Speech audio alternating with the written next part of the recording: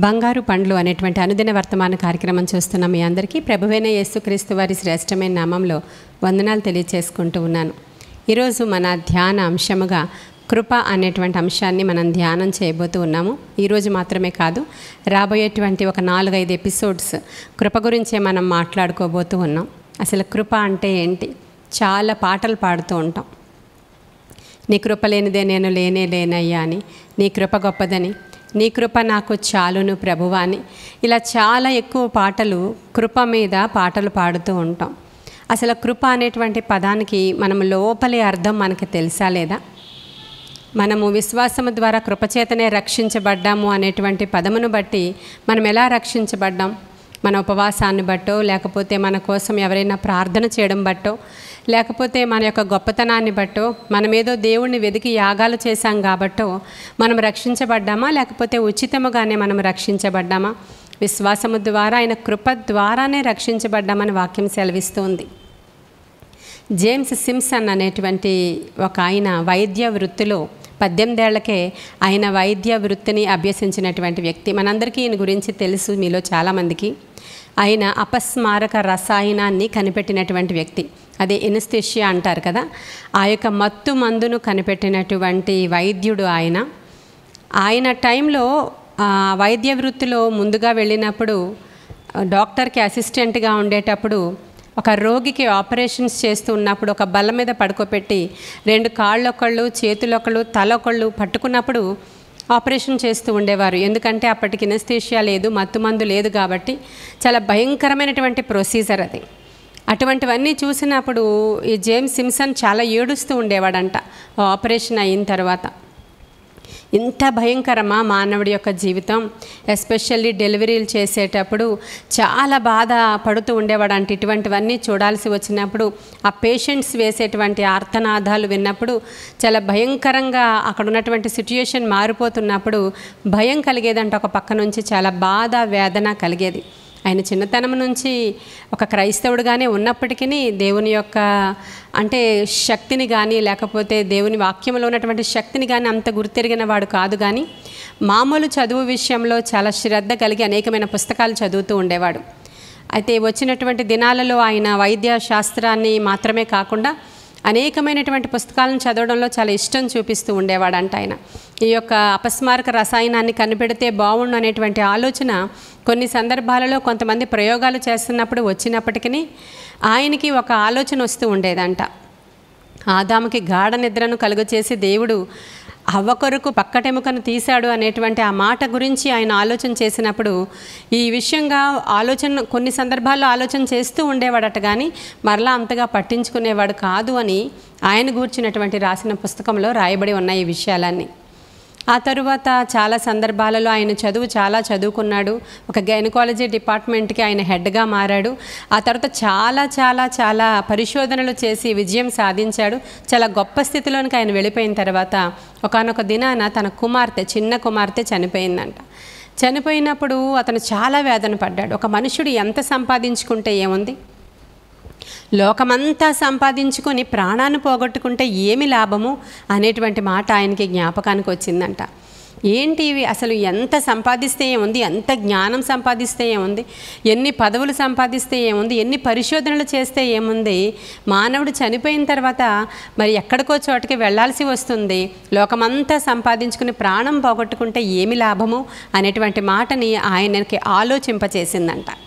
అయితే ఆ విధంగా ఆయన జీవితం కొనసాగుతూ ఉంది. కొంచెం నిరుత్సాహంలోనే ఆయన ఉన్నాడు.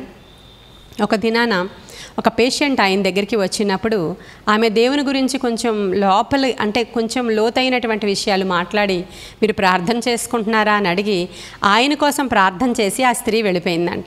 అయితే ఈయనకు అనిపిస్తుంది ఆ స్త్రీతో మళ్ళీ మాట్లాడాలి దేవుని గురించి మాట్లాడాలి ప్రార్థన గురించి మాట్లాడాలి అని అనిపిస్తుందంట. అయితే ఆ స్త్రీని మరొకసారి కలిసి నా గురించి ప్రార్థన చేయమని ఆయన అడిగాడట. అయితే మీ గురించి నేను తప్పకుండా ప్రార్థన చేస్తానని ఆ స్త్రీ ఆయన గురించి ప్రార్థన చేయడం మొదలుపెట్టింది. దేవుని యొక్క వాక్యాలు కూడా కొన్ని కొన్ని విషయాలు మాట్లాడుతున్నప్పుడు ఆయన వాక్యాన్ని రెగ్యులర్గా చదవడం మొదలుపెట్టాడు. పశ్చాత్తాపపడడం మొదలుపెట్టాడు. ఎటువంటి పేషెంట్స్ ఆయన దగ్గరికి వస్తున్నా కూడా దేవుని మాటలు రెండు చెప్పి మందులు ఇవ్వడం ప్రారంభించాడు. అలా దేవునితో సహా సహవాసం చేస్తూ ఉన్నాడు. ఉన్నతమైన పదవులు అధిరోహించాడు ఆయన. చాలా ఇన్వెన్షన్స్ చేశాడు వైద్య రంగంలో. అన్నిటికంటే చాలా ప్రాముఖ్యమైనది ఎనస్థేషియా కనుగోణం ఎవరో కొంతమంది ఆ ప్రయోగాలు చేసి అది ఫెయిల్ అయినప్పుడు ఈయన ఆయన స్నేహితులిద్దరూ కలిసి దాని గురించి పట్టు విడవక ప్రతిరోజు ప్రతి అంటే కొన్ని గంటల తరబడి దాని మీద ప్రయోగం చేస్తూ ఒక మధ్యాహ్న సమయాన వాళ్ళు ముగ్గురు కూడా ఉన్నటువంటి గదిలో ముగ్గురు కూడా ఆ యొక్క రసాయనాన్ని కనిపెట్టినప్పుడు వాళ్ళు దాన్ని పీల్చినప్పుడు వాళ్ళు దాన్ని మరి ఏం చేసుకున్నారో పీల్చారో ఏం చేసుకున్నారో తెలియదు కానీ మధ్యాహ్నం నుంచి సాయంత్రం వరకు వాళ్ళు చచ్చిన వాళ్ళలాగా పడి ఉన్నారంట. ఆ యొక్క కొన్ని అవర్స్ వాళ్ళకి మత్తులో తెలివి రాలేదు. ఆ తర్వాత కనులు తెరిచి చాలా సంతోషించారంట. మనం సాధించాము ఈ యొక్క గొప్ప విషయాన్ని మనం సాధించాము అని. అయితే ఎవరైతే ఫస్ట్ పేషెంట్కి వాళ్ళు ప్రయోగించారో ఆ పేషెంట్కి డెలివరీ చేశారంట ఆ యొక్క ఎనస్థేషియా ఇచ్చి. అయితే ఆ పేషెంట్కి ఆడపిల్ల పుట్టినప్పుడు ఆ పేషెంట్ ఆ పాప పేరు ఎనస్థేషియా అని పెట్టుకుందంట. ఇవన్నీ కూడా జరుగుతూ ఉన్నాయి. ఎన్నో ఇన్వెన్షన్స్ చేశారు ఈయన. ఎన్నో కనిపెట్టారు. ఎన్నో గొప్ప గొప్ప విషయాలు చేశారు. అయితే ఒక దినాన్ని ఈయనకి బహుమానం ఇవ్వడానికి ఒక సభ జరుగుతూ ఉంది. ఆ సభలో ఈయన గురించి మాట్లాడుతూ ఆయన అడిగారంట అయ్యా మీరు చేసినటువంటి ఇన్వెన్షన్స్లో మీరు కనిపెట్టినటువంటి వాటిల్లో ఏది గొప్పది ఏది గొప్పదని మీరు కనుగొన్నారయ్యా అని అడిగారట.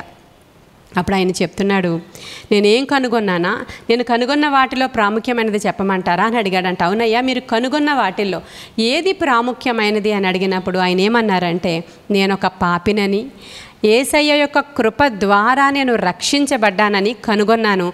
అదే అన్నిటికంటే గొప్పది అన్నాడంట ప్రియమైన దేవుని బిడ్డలారా. ఆయన ఒక పాపి అని కేవలము దేవుని యొక్క కృప ద్వారా ఆయన రక్షించబడ్డారని ఆయన కనుగొన్నాడంట. ఆయన కనుగొన్న వాటన్నిటిలోని కూడా గొప్పది అదే అని చెప్తున్నాడు. ఈరోజు మనము లోకానుసారంగా ఆలోచించినప్పుడు ఎనస్థేషియా అనేది చాలా గొప్పది కదా. పదవులు చాలా గొప్పవి. మన దే మనకి మనకు కావలసిన ఈ లోకంలో ఉన్నటువంటి ఘనమైన స్థానాలు మనకి చాలా గొప్పవి. ఆస్తి సంపాదించుకోవడం చాలా గొప్పది. పెద్ద పెద్ద ఉద్యోగాలు సంపాదించుకోవడం చాలా గొప్పవి. పెద్ద పెద్ద బిల్డింగ్స్ కట్టుకోవడం చాలా గొప్పవి. ఈ లోకంలో ఆ రిచ్ పర్సన్స్ లిస్ట్లో మన పేరు కూడా ఉండడం చాలా గొప్పది. ఇటువంటివన్నీ కూడా గొప్పవాటిగా ఎంచుతున్న మనము ఎంత గొప్ప వాటిని కనిపెట్టినటువంటి వారు ఎంత దీన హృదయంతో ప్రభువుని ఒప్పుకున్నారో ఒకసారి మనం ఆలోచన చేయాలి. ఎంత దీన హృదయంతో ప్రభువుని ఒప్పుకున్నారో ఒకసారి ఆలోచన చేయాలి మనం. ఆయన దీనులకు కృప అనుగ్రహించే దేవుడంట. భూమి కంటే ఆకాశం ఎంత ఉన్నతంగా ఉందో ఆయన యందు భయభక్తులు గలవారి ఎడల ఆయన కృప అంత ఉన్నతంగా ఉంది అని లేఖనం సెలవిస్తూ ఉంది. మరి దేవుని యొక్క కృప యొక్క విలువను మీరు కనుగొన్నారా? దేవుని యొక్క విలువైనటువంటి ఆ కృప యొక్క అర్థం మీకు తెలుసా? అసలు కృప అంటే అర్థం ఏంటి? ఇంగ్లీష్లో దాన్ని గ్రేస్ అంటారు. గ్రేస్ అంటారు. ఎవరికైనా పరీక్షల్లో ఇప్పుడు టెన్త్ రిజల్ట్స్ వచ్చాయి ఇంటర్ రిజల్ట్స్ వచ్చాయి. వాళ్ళు ఎవరైనా ఫెయిల్యూర్ అయిపోయారు అనుకోండి అప్పుడు గవర్నమెంట్ సడన్గా ముప్పై రెండు మార్కులు వచ్చిన వాళ్ళకి మేము మూడు మార్కులు గ్రేస్ మార్క్స్ ఇస్తున్నాము అన్నారు అనుకోండి వాళ్ళ యొక్క సంతోషం ఎంత గొప్పగా ఉంటుందో ఒకసారి చెప్పండి. చాలా గొప్పగా ఉంటుంది కదా. మూడు మార్కులు తక్కువైన వాడు ఎగిరి గెంతులు వేస్తాడు. అయ్యో నేను నా యొక్క జ్ఞానం చేత కాదు కానీ కేవలం ఆ గ్రేస్ మార్క్స్ ద్వారా నేను పాస్ అయ్యాను అనేటువంటి ఒక ఆలోచన ఒక కృతజ్ఞతాభావం వాడికి రావాలి. వాడు కరెక్ట్ పిల్లవాడైతే. అంతే తప్ప నా జ్ఞానం చేత నేను అవన్నీ తెచ్చేసుకున్నాను అని కాదు. దాన్ని గ్రేస్ అంటారు. అంటే అర్హత లేదు ఫెయిల్యూర్ క్యాండిడేట్ కానీ గవర్నమెంట్ ఇచ్చినటువంటి ఆ గ్రేస్ మార్క్స్తో వీడు పాస్ అయ్యాడు ఎప్పుడో దానినే కృప అంటారు ప్రేమన దేవుని బిడ్డలారా. మనము కూడా పాపులమై ఉండగా ఆయన మనలను బ్రతికించిన వాడు ఆయన పాపముల చేతను అపరాధముల చేతను మనము చచ్చిన వారమై ఉండగా ఆయన మనులను క్రీస్తుతో పాటు లేపడండి. ఆయన క్రీస్తు చేసినటువంటి త్యాగము ద్వారా మనము రక్షించబడ్డాము ప్రియమైన దేవుని బిడ్డలారా. ఆ కృపను మనం నిరర్ధకం చేయకూడదు. ఆ కృపనే మనం అనుభవిస్తున్నాం. ఇప్పుడు మనం అనుభవిస్తున్నటువంటి ఈ రక్షణ భాగ్యము ఆయన కృప ద్వారా ఉచితముగా మనకు వచ్చింది ఉచితముగా వచ్చినటువంటి ఈ కృపను ఈ రక్షణ భాగ్యాన్ని మనం ఏ విధముగా దాస్తున్నాము ఏ విధముగా ఖర్చు పెడుతున్నాము ఏ విధముగా లోకానికి చూపిస్తున్నాము ఏ విధముగా దానిని మనము ఎంచుతున్నాము అనేది చాలా ప్రాముఖ్యమైన విషయాలు. వింటున్న మీరు కృపను గురించి ఎప్పుడైనా ఆలోచన చేశారా? లేకపోతే నేను చాలా గొప్పవాడిని కాబట్టి ఇన్ని ఉపవాసాలు ఉన్నాను కాబట్టి ఇంత నిష్టగా ఉన్నాను కాబట్టి నన్ను దేవుడు పట్టుకున్నాడు రక్షించుకున్నాడు వాడుకుంటున్నాడు అనుకుంటున్నారా? ఇవి ఏమీ కాదు కానీ అన్నిటికంటే గొప్పది దేవుని యొక్క ఉచితమైన కృప. ఇందాకే చెప్పాను అర్హత లేని వానికి అర్హత ఇచ్చేదే కృప ప్రేమైన దేవుని బిడ్డలారా. అర్హుడు కాడు కానీ ఆయన ఉచిత కృప ద్వారా మనం అర్హత సంపాదించుకున్నాం. ఇట్టి కృపను మనకిచ్చినటువంటి దేవుని మనం ఈరోజు కనుగొని మరొకసారి కృతజ్ఞతాస్థుతులు చెల్లించాల్సిన అవసరత.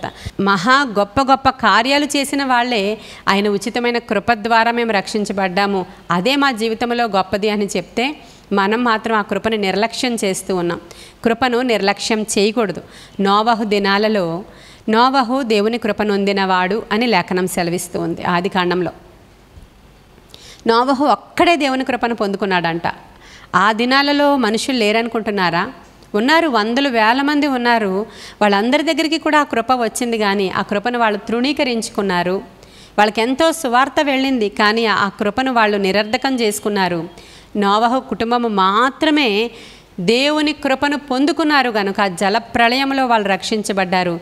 కాబట్టి ఈరోజు ఎంతో సువార్త బయట విత్తబడుతుంది. ఎంతో భక్తి అనేకులు చేస్తున్నారు. మేము గొప్ప మేము గొప్ప మా మినిస్ట్రీ గొప్ప. మా సంఘం గొప్ప. మేము మాత్రమే వెళతాము నిత్యరాజ్యానికి. మేమే డెడికేటెడ్ పర్సన్స్ మా బోధే కరెక్ట్ మా సిద్ధాంతాలే కరెక్ట్ అని కొట్టుకుంటూ ఉన్నారు ఈరోజు క్రైస్తవ్యంలో.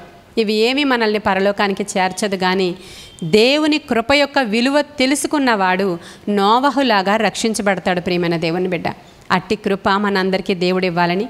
ఇంకా రేపు ఎల్లుండి అవతల ఎల్లుండి వచ్చేటువంటి మెసేజెస్లో కృప మనకి ఏం తీసుకొస్తుంది కృప ద్వారా మనం ఏం సంపాదించుకుంటాం కృప ఎలా పొడిగించబడుతుంది కృప ద్వారా ఏ విధముగా మనం రక్షించబడ్డాం అనే విషయాలు మనం తెలుసుకుందాం. ఈ కొన్ని మాటలు దేవుడు మన వినికిడిలో దీవించునుగాక ఆమెన్. ప్రార్థన చేసుకుందాం. మహాపరిశుద్ధుడవైన తండ్రి మహోన్నతుడవైన దేవ నిత్య నివాసి నీకు వందనాలు ప్రభువ. నాయన నీ కృప గూర్చి మేము ధ్యానం చేస్తూ ఉన్నాము. నీ కృప గూర్చి ఎవరైతే వింటున్నారో నాయన ధ్యానపూర్వకంగా రిసీవ్ చేసుకుంటున్నారో వారందరినీ కూడా దేవా నీ ఉచితమైన కృప ద్వారా ఈరోజు బలపరచమని బలమైన నీ యొక్క కృపతో వాళ్ళని ఆవరించమని నీ కృప ద్వారా గొప్ప కార్యాలు వారి గృహాలలో జరగడానికి సహాయం చేయమని ఇప్పుడే ఆత్మశక్తితో వారిని నింపమని బ్రతిమలాడుకుంటున్నాను. నీ కృప ద్వారానే వారి బంధకాలు త్రంచమని బ్రతిమలాడుకుంటున్నాను. నీ కృప ద్వారానే వారిని లేవనెత్తమని బ్రతిమలాడుకుంటున్నాను. ఆత్మ కార్యాలు జరిగించమని ఈరోజు వినుచున్న వారందరి జీవితాల్లో ఆత్మశక్తితో కార్యాలు జరిగించి మీరు మహిమ ఘనత ప్రభావాలు పొందుకోమని ఏసయ్య శ్రేష్ఠ నామంలో అడుగుచున్నాము తండ్రి amen amen amen God bless you